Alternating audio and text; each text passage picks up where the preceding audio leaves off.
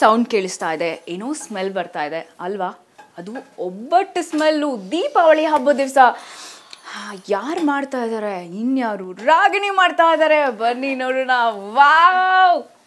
ನಂಬೋದು. ಇವತ್ತೊಂದು ದಿವಸ ಮಾಡ್ತಾ ಇದಾರೆ. ಇವತ್ತೊಂದು ದಿವಸ ರಾಗಿಣಿನೇ ಮಾಡ್ತಾ ಇದ್ದಾರೆ ಇಲ್ಲ ದ ಲಾಸ್ಟ್ ತ್ರೀ ಫೋರ್ ಮಂತ್ಸಿಂದ ನನಗೆ ಸಡನ್ಲಿ ಕುಕಿಂಗ್ ಮಾಡಬೇಕು ಅಂತ ತುಂಬ ಒಂಥರ ಹುಚ್ಚು ಬಂದ್ಬಿಡಿದೆ.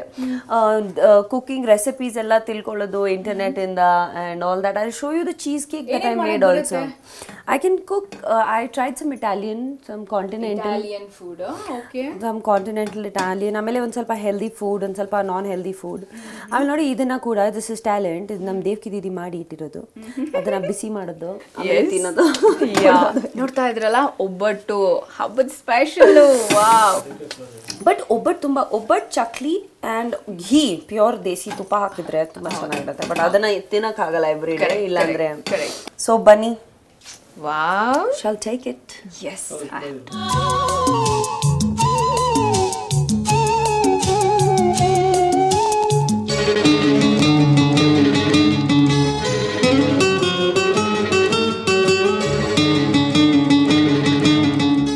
ಮಾಡಿದಾಯ್ತು ನಾವೇ ತಿಂದು ಬಿಡ್ತಾ ಇದೀವಿ. ಮನೆಯವ್ರಿಗೂ ಸ್ವಲ್ಪ ಉಳ್ಸೋಣ ಅಲ್ಲ?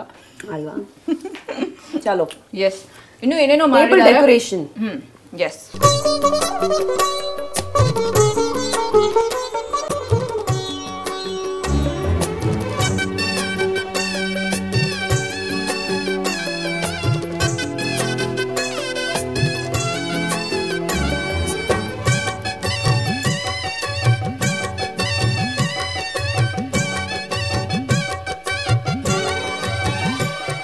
ವಾವ್ ಸೂಪರ್ ಆಗಿ ಡೆಕೋರೇಟ್ ಮಾಡಿದ್ದಾರೆ ಇಲ್ಲಿ ಡೈನಿಂಗ್ ಟೇಬಲ್ ಅಲ್ಲಿ.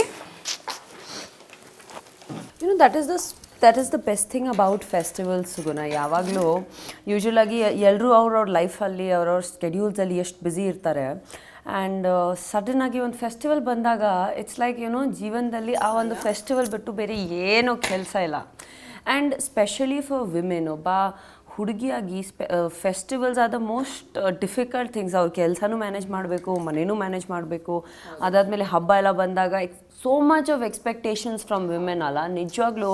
ಇಲ್ಲಿ ಫುಲ್ ಫುಲ್ ಕಲರ್ಫುಲ್ ಆಗಿ ಕಾಣಿಸ್ತಾ ಇದೆ, ಚಕ್ಲಿ ಇದೆ, ಎಲ್ಲ ತಿನ್ನೋಂಗ್ ಮಾಡ್ತಾ ಇದೆ. ಅಂಡ್ ಎರಡು ಥರ ಒಬ್ಬಟ್ಟಿದೆ, ಇದೊಂದು ಕೊಬ್ಬರಿ ಒಬ್ಬಟ್ಟು.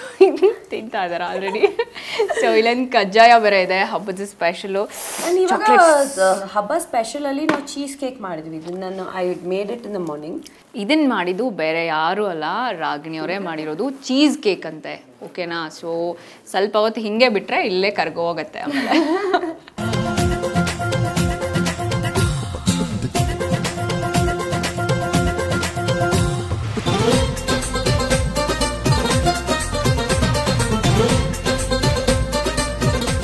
ನನಗೆ ಇವಾಗ ತಿಂದಿದ್ದಾಯಿತು ಮಾಡಿದ್ದಾಯಿತು ಡೆಕೋರೇಟಿಂಗ್ ಎಲ್ಲ ಆಯಿತು.